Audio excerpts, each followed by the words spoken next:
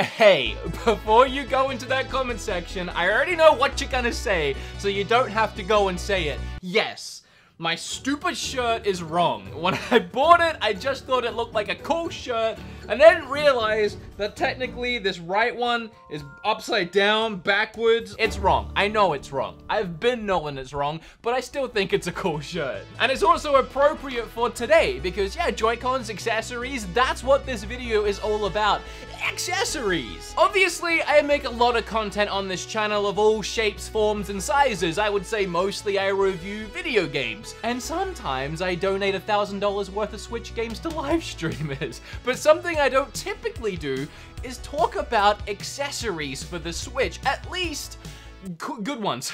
Actual good, useful, fun, exciting ones. Large reason that actually motivated me to make this video is because I bought that new Switch. The box is there. I don't want to take it down. I'll get a shot of it. You remember the video. It was like a month ago at this point, and I wanted to do a follow-up, like how is the Switch? And I wanted to do a little wrap-up of the new Switch a month later, and was it worth getting? And it just so happens that Satisfye, the uh, incredible company that makes these grips, they reached out to me and they said, hey, do you mind if we sponsor one of your videos? And I said, no, I don't mind at all. Reason being, you probably don't even really have to sponsor it, but don't tell them that. Because I love this freaking thing. If you've been watching my channel for the last year or so, you'll notice that this grip has been glued to my Switch in almost every video. I am not messing around here. I cannot play my Switch portably without this anymore. All right, well, first up, first up, before we get to anything, I want to say that this right here, this is actually my new Switch. Or is that my new Switch?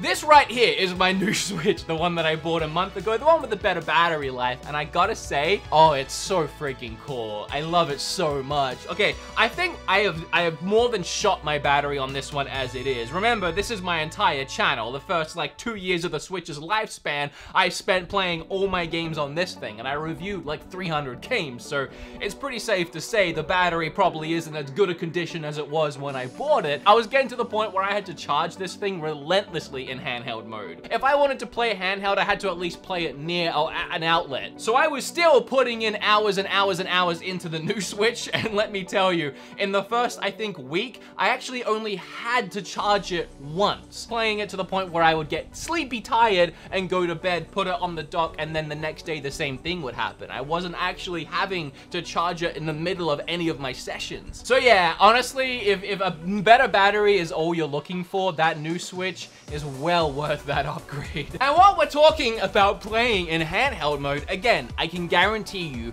for every minute of that story I just told you when I was playing in handheld mode, this bad boy was strapped onto my Switch. At this, it's so funny because when I first got the Switch, for the first, I'd say year and a half, I played perfectly fine like this and didn't seem to have any issues. But once I got this and I threw it on, oh, there was no going back. And now whenever I do try and play my Switch without it, my thumbs look like, I literally feel like my thumbs are cramping. I can't, I can't not have this on my Switch now. So this, as I said, is their new design design. If you didn't get the old design, don't worry about it because the new one is out. It's really easy to just slide down onto the Switch. There's rubber inserts on the inside, which actually prevent the case from even touching the Switch. They've actually uh, cut out in this new design a little groove here, so you can see there's, there's like a two millimeter gap in between your Switch and the case. These are my new Joy-Cons that I got a month ago, and I've had that grip on my Switch Every day since then, there's no markings on it whatsoever because it's only that red rubber insert that touches it. And if you do have that old grip, because I have recommended it a bunch in the past, I thought it was really comfortable before. It's definitely more comfortable now. I'm fine either way. It's just a very comfortable,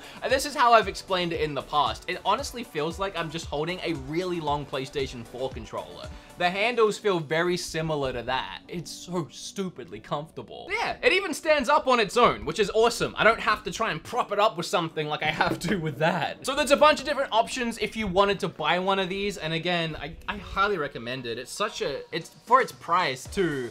It's such a perfect accessory to get any Switch fan. So they do have a couple of bundle options. This is the bigger bundle option. Obviously, this case here is much slimmer, much smaller smells so good. Okay, sorry, that was weird. So these cases come with places to hold your Switch games, a zip, and a little felt liner to hold whatever you want. You can put your charge cables, which it does come with a charge cable in here as well. Oh, and actually, I've been excited for this. He told me about this. It's like a little, it's like the, the opposite of comfort, but it's like a little thing to keep your Joy-Cons together and safe. And then, if we take out that brand new one and put this one in, it just fits in so snug. Put the felt case over it so nothing damages it. Even secure it in place with a little bit of Velcro and you're good to go. These things are really tough. This is the case that my friend RGT85 threw off of a bridge with his Switch inside to prove how sturdy they were. And the best part is if you use my code BeatEmUps10 at checkout, you'll get 10% off anything on the Satisfye store. Next, okay, I bought these today. Uh, fortunately, I pre-ordered them at my GameStop because apparently they're sold out everywhere. They are the Hori Daemon X Machina version. I'm not sure if they even do another version. The only thing that's actually Daemon X Machina about it is these are red and the X is the X from the game, which that makes sense. It's called the Hori Split Pad Pro, and essentially what it aims to do is recreate the Pro Controller similar to the Pro Controller, but, you know, cut it in half and slap it on either side like Joy-Cons. It's a really clever idea. It's something that I have said multiple times that Nintendo should do and should have done by now. But here we go. We finally have a Pro Controller we can use kind of like Joy-Cons. It's missing a lot of features. It can only be used when it's clicked in. You can't take them off and try and use them. They just won't do anything. Here's all the... I can't speak that language. Here's all the features it's missing. This product does not support the following features. Gyroscope, motion IR camera, accelerometer, player LED, HD rumble, uh, home button notification LED, and NFC. So it's, you know, it's stripped down, pared down.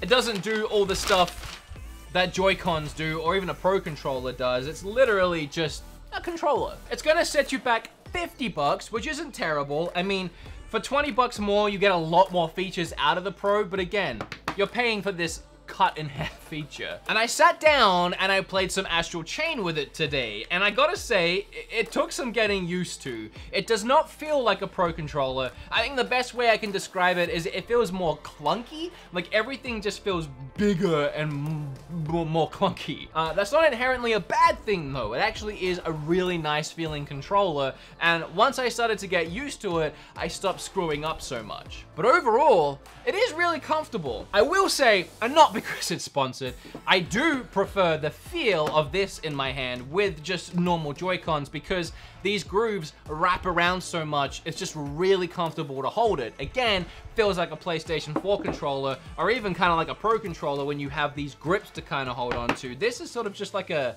a small indent groove it, you kind of feel more like you're slamming your hands into the side. Don't get me wrong, it's still comfortable, just not nearly as comfortable. I do like it. I like it a lot. I could see myself using this for sure. I was excited using this. I, initially putting them on, it was weird because, because you have this big gap where the screen is way further down than the controller is raised up. And it's fine. It just looks really weird. It looks wrong. It looks like you've created a monster. These things are so big in contrast to the That it actually, it, it, kind of makes my, it tricks my brain into thinking that the Switch screen is actually smaller than it is. But here is by far the coolest thing about these Joy-Cons. There is back buttons. I love back buttons. I love programmable back buttons, and that's exactly what these are. So it's really easy to program. There's an assign button here, you just hold that down, and then whatever button you press next, it'll automatically map that as the back button on that side of the controller. So for example, right now, I've mapped just the clicking in of the thumbstick to that button, so that if I wanted to start sprinting, I just gotta hit this back button, and I don't have to click in the thumbstick. Ultimately, I really like these. I think for 50, it's a good price for sure. 40 would feel like a steal, so I think sitting them at around 50, especially considering there's no competition on the market as far as straight up buying something like this, they kind of have the monopoly right now, and I do think 50 is a good price. Having said that, again, I know it's sponsored. Believe me if you want, don't if you don't, but I do prefer using the actual Nintendo hardware. I'll always prefer using actual Nintendo hardware and being able to strap my own grips onto it just like this for me personally, this is more my preference. It's more comfortable and it's easier to use. Oh, there's also turbo buttons. I don't need them, but they're there. Okay, look, I know. I know what you've been waiting for. I know why you're still here. You might even have skipped this entire video to get to this point. I don't like that, but at least you're still here. Uh, you want to see these, and trust me, I want to show you these. The guy that made them reached out to me and said, hey, big fan, I was wondering, do you want to check out the Joy-Cons that I make that have LED lights in the buttons? And I said, yeah, yeah I do. And they actually get way cooler than you would even think. Once you download the app, which you can find on the website if you do pick these up, you download the app, you install it to your Android or your Apple, and then it automatically, automatically picks up these lights. You don't have to connect them or anything like that, it just automatically does it, okay? Now look what I can do. I can make them blue, I can make them uh, slightly more blue, that's kind of like a purple, green, uh, red, and not only is it preset, but you can literally pick any color you want. And they'll just stay like that while you're playing games. Uh, you can also decide which one you want to change. So if I want one to be uh, blue and the other to be red, I can do that too. it's really easy to do it. You might have noticed if you were paying attention throughout the video, I had it on color changing. It was just rotating and you can set the speeds for that too. And then something I really like and I preloaded some cool music for this, so hopefully won't get claimed for it.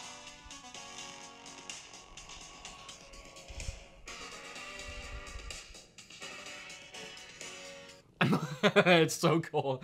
Yeah, you can play music and it'll change the colors to the beat of the music. And there's probably even more things that you can do on here. There's something where you can record your own audio. I'm not sure what that would do. There's more options. There's timing options. You can set different times. And then obviously just all the different colors. So the place that does these, the guy that does this is called Lestat Mods uh, .com. I'll leave links down below. He's also giving you 10% off if you use the same code BeatEmUps10 at his checkout. He seems like a really nice guy. We've been talking a lot about these things. It's kind of, kind of like an Etsy project in a way. He does some other things. He has his own website and it's all just like him and on his own making these things one at a time. So don't go and overload him with orders. But, well, I, am dude, if you want to do, I'm sure he won't mind. Before you do go, there's a couple things I need to break down and I told him I was going to gonna break these down. To start with, the price. You have to factor in that not only is he having to buy Joy-Cons, so right there, you do have to buy the Joy-Cons from him. So that's 70, 80 US or whatever. Then there's the LED lights, and then whatever wiring goes into it that you have to then buy. And then there's the labor. And I know as someone that cracked these bad boys open, uh, it takes a while to open them up, put them back together, let alone add things in and wire them. You're paying for a lot of time here. So right now, he's selling them for 160 euros. I think that works out to 170, 180 US. It's, it is essentially double the price of buying Joy-Cons, but again, you do have to factor in those things and they are really like they're unique. They're an art project. They're a piece of they're a piece of art shiny art. For me put them up in my collection behind me in videos because for me it's such a decorative art piece. It looks so freaking cool. And like sure yeah you can use them while you're gaming and everything but for me if i'm spending 170 on joy cons for something like this, I'm gonna wanna keep them pristine and nice and probably not use them and wear them down, but that's just me. You can do what you want. I'm sorry I keep touching my hair, it's so hot. You can do what you want, and he can do any colors of Joy-Cons, doesn't have to be, you know, the purple ones. He did those for me because he knew I liked my purple ones. He added colors to them for me. If you are someone who wants to buy these and actually use them, I do feel like I need to I need to show you something before that. Um, for me, this isn't really that much of an issue at all because again, I use this and we're gonna get to that in a second, but because he has had to add in these lights and these wirings, there isn't much wiggle room in there. They've stuffed these Joy, Nintendo stuffed these Joy-Cons packed as packed as they can to keep them the small size. So as soon as you start trying to add anything in there, there's literally no room. They are slightly bulging where the wiring and the extra circuit board he has to put in, it's just there isn't room. There's nothing you can do about it. So it is bulging and it's something I wanted to pull to your attention. For me, they fit in here just the same. And once it's in there, I don't see it, I don't notice it, whatever. It's a small price to pay for something this cool, I suppose. I'm just gonna put them in my collection anyway because I don't want to wear them down. When I first got these things out of the box, I just sat there flicking between all these colors changing them from blue to red, you know, mixing up the size, letting the music play out, which I can't do without getting claimed in this video. I really don't even know what goes into making something like this. Like, it's, it's baffling. And I do like that because he used the clear case, I can see the new wires he's added in. I actually like that look. This is definitely a treat yourself accessory. it's not necessary, I don't think. It's definitely a treat yourself. Or treat someone you love because I don't know, man. I think this is just the coolest looking thing. But if you buy anything from this video, I do ask that you seriously consider the Satisfye grip. Everything else is cool, is fine, is awesome, is great, looks good, serves a purpose, but this it's just a heaven sent necessary item. This goes hand in hand with my Switch. It is the only Switch accessory that I actually use. Slap like on this video, hair flip on that subscribe button. That's all from me. Love you guys. Love you guys. I'm gonna go uh, play with my, my fancy lights.